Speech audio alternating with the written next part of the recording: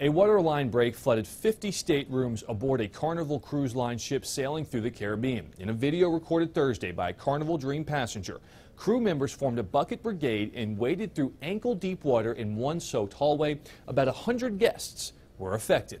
It's like if you open a fire hydrant wide open, that's how quickly it was coming in.